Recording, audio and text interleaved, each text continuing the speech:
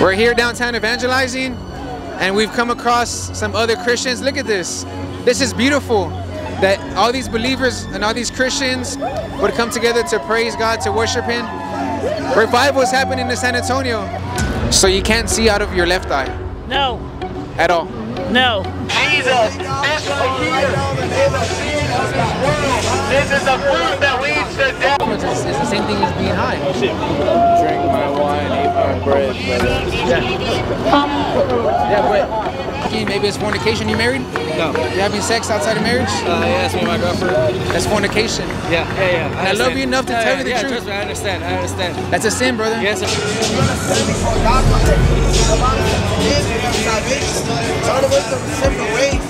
Freedom right now. Right now, Jesus.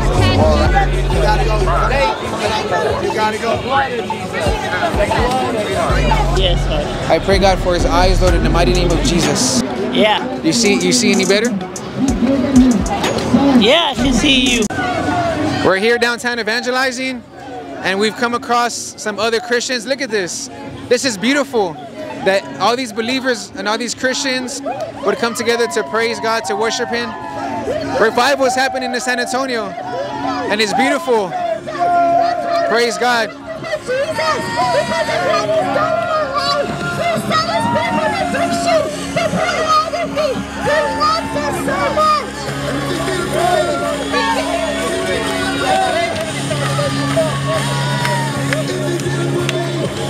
Jesus,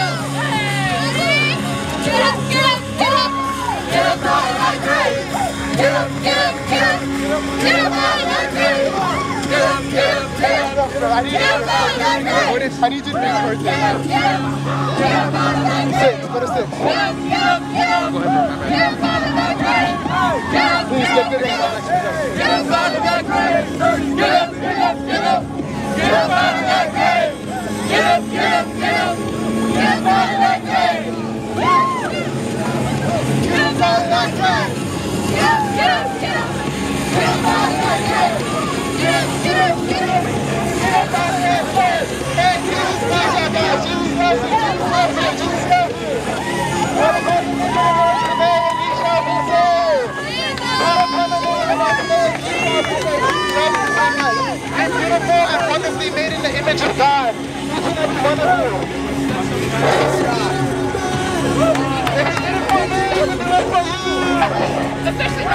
Especially right here.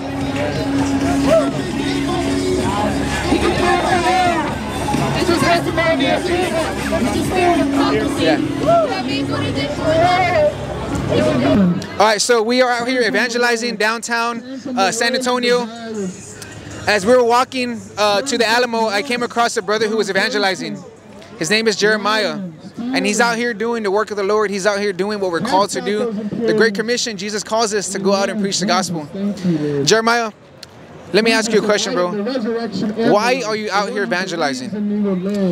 Well, right now I'm out here because I feel as if like the times that we see mentioned in the book, the times that we see that are at hand, which is it's mentioned, the kingdom of the Lord is at hand. We need to repent. There's so many people that don't know about that. There's so many people that don't read, man. Even inside the church, there's people that don't even read the word, uh, and not reading the word, not reading the living word of God, not having that relationship with Him. So just being overflowed with the spirit of the Lord and what He has done to me in that church by changing my life and turning me away from the past to being this person that I'm able, I'm able to that went through something and hopefully able to share with other people is the reason why I'm out here to. Um, to ov- overflow to people, not just to keep it to myself.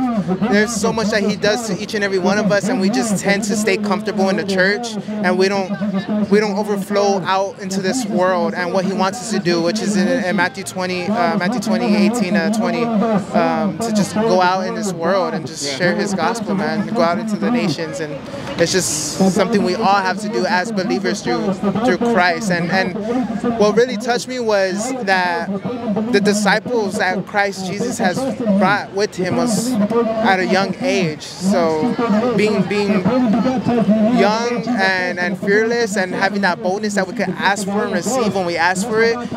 And anybody could do it. Not just me, not just eh, anybody could do it once you if you really want to and if you want to do more for him because he's done so much for us. He went to that cross for each and every one of us knowing that we're going to sin, knowing that we're going to fall short and he still went to that cross and we all could do what Amen. That's awesome, bro. One of the things I love that you said is that there's a lot of people who, who go to church, right? And a lot of people believe that just because they go to church or just because they say, I believe in God, that they're saved. However, in the book of James, chapter 4, James says, even the devils believe, even the demons believe and tremble, right? And in, in that same context, James talks about living faith by our works. What you're doing, brother, is living faith. Your faith is living alive and active, just like His Word.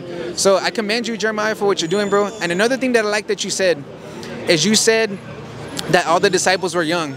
Historians and theologians believe that all the disciples were like teenagers, no, no older than than, than the early 20s. So you're right, man. Anyone can do this. We're all called as Christians to evangelize. All right, Jeremiah. So you have a sign out here. Show us what, what it says and tell us what it means. Uh, well, I have repent or perish, and Jesus is King. Jesus is King. Um, Jesus is King over over everything in life. He's a name above names. He's King over whatever we allow Him to be King over. We allow Him to be King over our lives. He's going to be King over our lives and and lift us up to to be under him, of course, being his servant, but since he's a king, since he has no failure and he has victory over all, we're going to be there under him as his servants with him through it all and being able to each and every one of brothers and sisters and people in this world, our neighbors, along with us to just pick each and every one of us together up together as one through Christ. So that means a lot. That's what that means to me. Is like he's king through my life. I want him to be king through each and every one of their lives, so that we could rise together as one, as a body um, of the church. And under His blood, all things are possible. And Amen. He's king over it all. Repent or perish, man. It's as simple as that. Why don't you show us what, show the camera. What does that mean? repent or perish. We just need to repent from our sins every day. Even though we think we're even though we think we're as perfect as we possibly can be, even though we try so hard, just moving day by day without blemish or without um, falling short as we think. There's still things we, we fall short of. So just even though we think we're at our at our highest or, or as perfect as we possibly can, we still need to repent because that's what brings us closer to God. Uh, even as as like pastors or preachers or, or um, brothers and sisters of the church. It's it's for a message to reach each and every one of us. Nobody's higher than another, and we all need to just repent day by day. That, that's what brings us back together as one through God. So, and, and I, I believe that like if we don't repent, if we don't and true repentance true repentance is, is the biggest thing. So uh, just coming before him even though we fall short even though we struggle with those sins let's say we just continue to go back to those sins continue to go back day by day we still need to come before him and repent because he knows our heart truly and being able to repent from that he knows that we want to turn away from it and there's no other way to turn away from it than that goes back to jesus. Is king. He's, Amen. he's king over that. He's king over those situations. He's king over that anxiety that depression those things that make us fall short of that or seeking those pleasures. So he's king over it all, and we just need to repent because we could definitely perish. It's as easy as just as being out here, man. There's so much temptation just even about here, even out here in the in the trenches for the Lord. Like it's this is it's hell, man. If we don't repent, it's hell if we don't turn away from it. That's beautiful, Jeremiah. The Bible says, um, I like what you said. He said, truly repent, right? Because repent means you turn away from your sins, you change your mind, right? There's a lot of people who continue living in their sin, and we had the question, like, is that true repentance, right? And the Bible says otherwise, man, because repentance means you change your mind, meaning you you make the you make the decision to never do that again. And I think this is a good message, man, not just for the world, but for the church. Because you touch on that, man. Uh, again, I want to commend you, bro, because what you're doing, bro, is is not in vain. we have to do this as Christians. There's not too many people that do this, and I want to honor you, brother. And I'm going to be praying for you, Jeremiah, and for everybody else who is here. Um, I think it's beautiful what you're doing, and that was a beautiful message that you shared with me right now, man. So thank you. All honor to God, man. All right, so we are here today evangelizing uh, downtown San Antonio, and as we were evangelizing, uh, this brother came up to me, and without giving away his name, why don't you share what your name is? Jose Gillen. Jose. Jose, I saw your shirt, man, and it says "Y'all need Jesus." Yes, sir. What does Jesus mean to you? Jesus, He's my Father, and He's the truth and the life and the way. No one comes to the Father except through Jesus. Amen. That's powerful, brother. Now, um, why don't you share with me and the people who are watching what happened to you when you were a child? You just shared with me a little bit of your testimony, and I think it's such a beautiful testimony. So I want you to share what happened to you. Well, my mom and my my mom used to do drugs. So when I was a, a, a baby, I was born with an autistic glioma brain tumor, and I was born partially blind because I was a baby. So um, when I turned eight years old, I went to a church in Minnesota, and at, at the Sunday school class, I stayed home. I stayed and I and I asked the pastor that I would like to accept God in my life. And as I did, I've been praying and praying and praying. So one day I went to a church and I and I prayed and I fell and I was talking in tongues. And then uh, two, three days later, I went to go have an MRI done. And the doctor said, well, guess what? We can't do no more MRIs. Your brain tumor is now gone. Amen. That what a powerful testimony.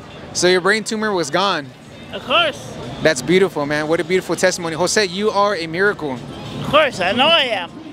God Himself saved you for a reason. He has a plan and a purpose for your life. Do you believe that? Yes, and also I ain't ashamed to worship and pray anywhere I, I am. I love to pray my Father, and I love to lift up my hands. And and one time my father, I, I went to a church with him, and he pitched me. He said, "Jose, you are ashamed. I like to sit down. You embarrass me." So he took me to the restroom and, and grabbed me by my hair and hit me on the wall. Can I show you? Like this. Look. This. Grab me. Like this. Hit me in the wall like Why is that? because I, I, I was an embarrassment to him. Because of your disorder? Because of what happened to you? Yes. How old were you when it happened? And he slapped me. I was like uh, 18 when he did that to me. It, it, it hurt you, right? Of course. I can tell you're getting emotional right now. Of course. Yeah. Well, listen, Jose. Uh, I want to thank you for sharing that. For, Oh, no, for, for sharing that information, I want to thank you for sharing your testimony. You are a walking miracle, Jose. Yes, I know You, sh- I you should have been dead, but God saved you. And God, Of course. now I want to Yes, pray He for has you. me here for a purpose. Yes. I want to pray for you, Jose. I want to pray that that God's purpose and His plan for you would be fulfilled in your life. Thank you. That He would heal you from all the pain that you went through with your family. and I want to pray for you that you would be completely healed in your in your eyes. Thank you. Tell me what's going on with, with your eyes. Well, since uh, I had radiation for a long time, and also I had a brain tumor around between my optic nerves, that's why. Since I grew up with a brain tumor, and So you can't see out of your left eye no, at all. no, no, And then on the right eye, you just see like tunnel vision. yes, I see you're walking around, and forgive me, but what is this called right here? This, what is this called right here? a cane for people who are blind. A cane. Okay. I see. I see you walking around with, with, with your cane, brother, Yes, and I believe that there's power in the name of Jesus of course there is. to heal you completely. Of course. To heal you completely. That you would be completely healed in your eyes. Yes, I know. He, I know. That you would be able to see out of this eye, Yes, sir. and that that and, and that on this side you would see that you would see a lot better. Thank you. Thank So you. I'm, I'm gonna pray for you. You okay with that, Jose? Yes, sir. Let's pray. Okay. Okay. Jose, here, come come this way a little bit. Come off the thing. Do you believe that, that God can heal you? Of course. You do? Yes. The Bible says if you have faith the size of a mustard seed, I have faith right now, and if me and you can come in agreement that you're gonna be healed right now, I believe that God can heal you right now. Of course. Okay? Yes, sir. So we're gonna pray. We're gonna pray for your past. I know you've been hurt. We're gonna pray that God would heal you right now. In the mighty name of Jesus, okay? Yes, sir. All right. Father God, I come before you in the mighty name of Jesus. Oh, we would have gotten here anyway. God, I'm praying right now, Father, for Jose. God, he loves you. And he is unashamed of you. He is unashamed of the gospel. He's been, he's, he's been through a lot as a child. He had a brain tumor as a young child. But God, you saved him. He should have been dead. He should have been dead right now, Lord Jesus. But you saved him because you have a plan and a purpose for his life. Now, God, we come together, Lord, before you in agreement, God, believing that you can heal Jose from not only his physical disabilities, but God, the pain that, it, that he's feeling in his heart because of everything that he went through as a child, through his sickness and everything that he went through with his with his family, Lord Jesus. He was hurt as a child because of this uh, because of this disability. Some people said that he was an embarrassment.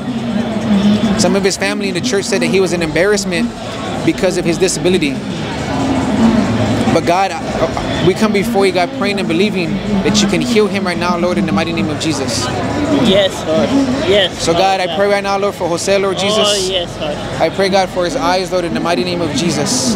Yes. I pray, Lord Jesus, for complete healing in his eyes, Father God, that anything, God, that is not from you, Lord, that it would go right now, Lord, in the mighty name of Jesus. Yes. I believe, Father, that by your stripes we are healed, Father, and I pray, Lord, in the mighty name of Jesus, Yes, Lord. that Jose would be able to see from this day forward, God.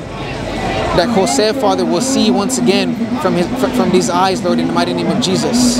Yes, Lord, Lord. I come against and I break, Father, any curse, any any generational curse in the mighty name of Jesus. Yes, And I come against any demonic spirit, any demonic attack, Lord, right now in the mighty name of Jesus. Yes, Lord. That Jose would be free from this moment forward, from this day forward, God, that Jose would be free. And I pray, Lord Father, for complete healing right now, Lord, in the mighty name of Jesus. Jose, be healed right now in the mighty name of Jesus. Amen. I pray that this blindness would go right now in the mighty name of Jesus. Yes, Lord. Yes. Thank you, Father, for this opportunity, Lord. We come together, Lord, in agreement, believing, God, that you can heal him, Lord. Lord, anything, Father, any sickness and disease, God, that is not from you, Father, I rebuke it right now, Lord, in the mighty name of Jesus, and I command it to go right now in the mighty name of Jesus. I thank you, Lord. I pray, Father, thank you, Lord, in the mighty name of Jesus. Yes, Amen. Lord. Amen. Amen. Amen. Amen. Amen. Amen. Thank you, bro, for letting me pray for you. Yes. Thank you you, feel? brother. Oh, pretty good. Yeah? Yeah. You see you see any better? Yeah, I can see you. So you can't see out of your left eye No. at all. No.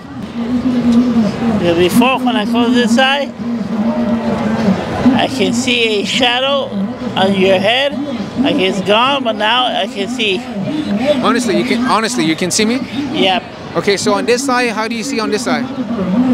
Uh, just a little bit better. You can see a little bit better? Yeah. And what about on this side? On this Still the side. same. I can see my brother, the light, Okay. and that's it. So you can see better on this side. Yes. Praise God. Yeah. Praise God. So it's better. Yes. Jose, God's gonna heal you completely. Oh yeah, I I, believe know. that, okay? I know. On His time. On His time. He's gonna heal you. Oh yes. I, I know. believe it. I know. Me too. I believe. I'm gonna continue praying for you, Jose. Yes. All right. That God, that God would finish what He started today. That God would finish what He started in this moment. Thank you. That He would heal you completely. Okay. Thank you. Yes, sir.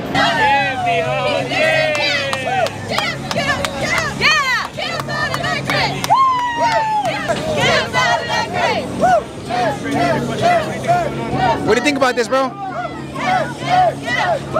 a side like that.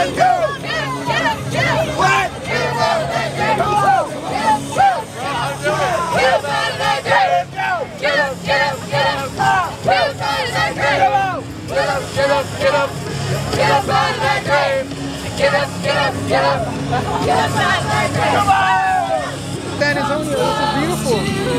Look at what Christ is doing. All these young people are out here, they- they're unashamed of the gospel. And they're doing what we're all called to and that's to preach the gospel.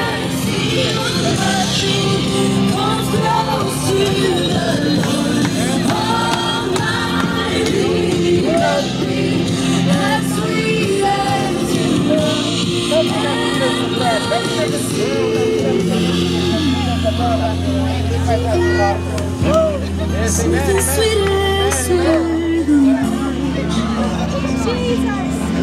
Praise God. Hallelujah.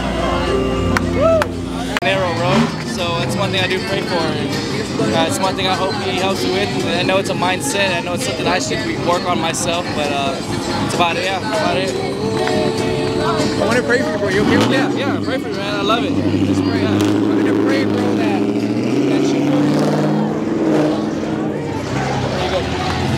To pray, bro, that whatever you're struggling with, lack maybe, maybe the, the lack of prayer, the lack of faith, maybe it's drinking, maybe it's fornication. You married? No. You having sex outside of marriage? Uh, yeah, it's me and my girlfriend. That's fornication. Yeah, yeah, yeah. I love you enough to Yeah, tell yeah, you the yeah, truth. Trust me, I understand. I understand. That's a sin, brother. Yes, sir. I understand. I know. I know. And Christ has called us to be a new creation, Uh-huh. to repent and to turn away from that sin. Right? I believe, man, that God has a plan and a purpose for your life. Oh, yeah, I truly I believe that. that. I know that. You believe that? yes, sir. I know that. Are you walking in His plan and His purpose right now? I, I try to. I try to. I try to live my life. Christ right. doesn't want you drinking, uh, if I'm being honest with you. He doesn't want you drinking, brother. You're special. And you're better than that. Thank you. Appreciate it. Honestly, you are. Oh yeah, appreciate it, man. You're special, bro. Appreciate it. Honestly. Thank you. And Christ doesn't want you living in sin. He doesn't want you living in fornication. Right? I believe that. The Bible says that the, like the sexual immoral will not enter the kingdom of God. Uh-huh. Brother, you have to repent. Right. Honestly. Trust me. Yeah, I know. I know. I do. Trust me. Let this be a reminder to you, bro. Let this be a wake up call. Yeah. Thank you. I, trust me. I, I, I I love that you're doing that because Look at this, bro. Yeah, I see it. Trust me. This is beautiful. Yeah. Christ loves you. Thank you. And he's called you to repentance, brother. Thank you. He doesn't want you living like this. All right. You're called for much greater. I believe that myself. Thank you. Honestly, you are. Thank you. You're called to do great things for the Lord. This is not a coincidence. No, it's not. No, trust me, it's not. It's not a coincidence. No, coincidence. I know that. That's what I say. God is thank you. speaking to you right now. He wants to tell you that He loves you Right. and He wants you to walk in His plan and His purpose. Right. Thank you. Okay? Thank you Let's for pray. that. We're gonna pray. Give me one second.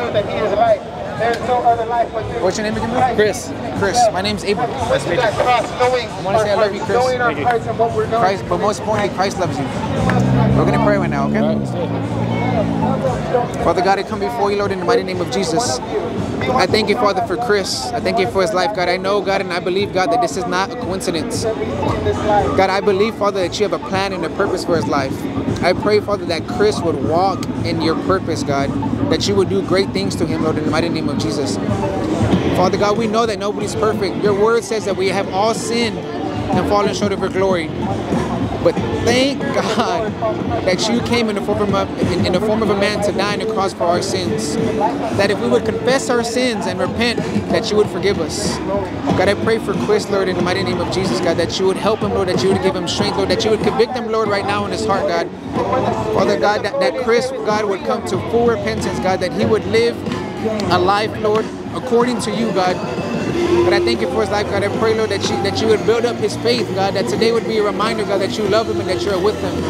God, that you would build up his faith, God. That, that, that Chris, God, would begin to pray again. That Chris would believe, uh, to, uh, that Chris would start to go to church again. That he would believe in you again, God. That you would do great things through him, Lord. In the mighty name of Jesus, God, I pray that you would protect him, God. Lord, wherever he goes, God, as he's out here tonight, God, that you would be with him, Lord. Lord, I pray, God, that you would deliver him from all evil. God, I pray over, over him, over his family, over his girlfriend here, God. God, that they would see, God, that they would know that you love them. I thank you, Lord. I give you all the honor and all the glory in the mighty name of Jesus. Amen. Thank you, sir. God bless you. Praise God. Right now. Thank you freedom right now. Right now, Jesus. Oh, right now. Thank you, Lord. Come on. Hallelujah. Come on, freedom. Oh, thank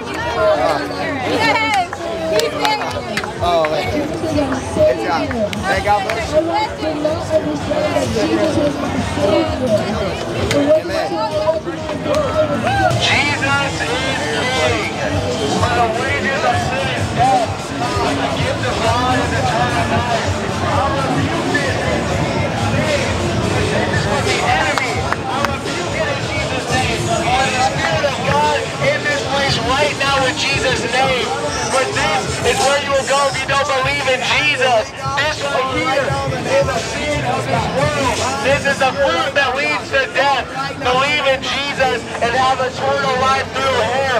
For this is not holy, for He is holy. For only good gift is from above, and that is Jesus. I rebuke this in Jesus' name.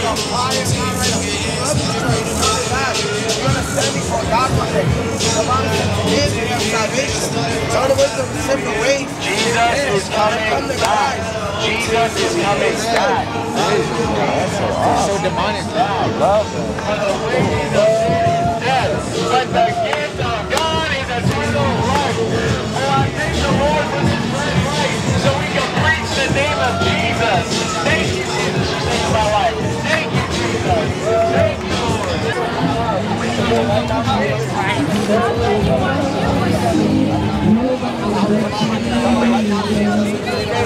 Freedom in Jesus' name.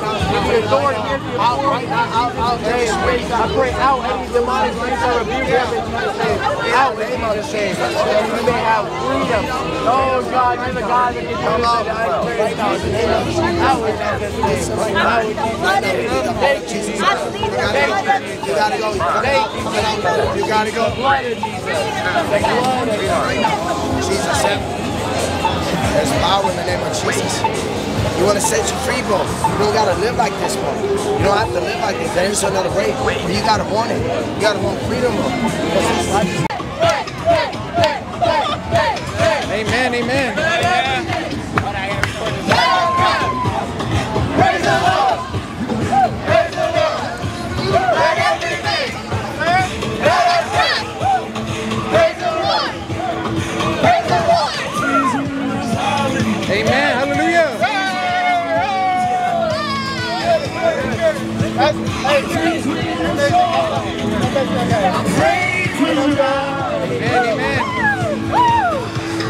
Praise when outnumbered. Praise when surrounded. Amen, amen. Hallelujah. What's up, bro? There's only one way. Amen,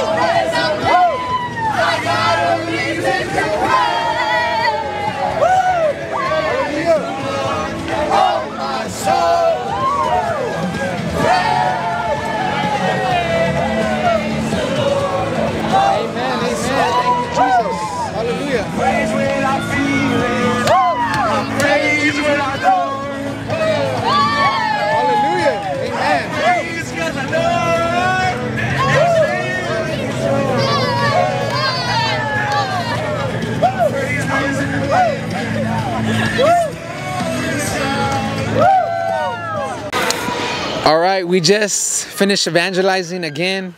God is good. I, have a huge smile on my face right now because, as you've seen in the video, there is a dozen, if not more, young people evangelizing, preaching the gospel, praying for people, worshiping and praising God in the streets. And let me tell you that this is the beginning of revival. That God is going to do something in the city. That in San Antonio, God is going to move in a mighty way. And what you've seen in this video is just a glimpse, is, is just the beginning of what God is going to do. So I hope that this video has blessed your life and I hope that it's encouraged you. But I also hope that it's convicted you to evangelize, to be unashamed of the gospel, to fulfill the calling that God has given us all as Christians, to preach the gospel to all the world, to all people. A lot of people think they're not ready. A lot of people think that that that um you know they don't know enough scripture. And that's okay. The Bible says that you should study to show yourself approved. And the Bible says to always be ready to give an answer as to why you have this hope. But I pray that anyone who's watching, that you would be bold, that you would have a spirit of boldness to go out and to evangelize. That you would have a spirit of boldness to talk to your friends, to talk to your family, to talk to your coworkers. And see what God can can do through your life. I want to thank everyone for watching. I hope that you would be blessed today and I hope that you would be encouraged today. Y'all take care and God bless you.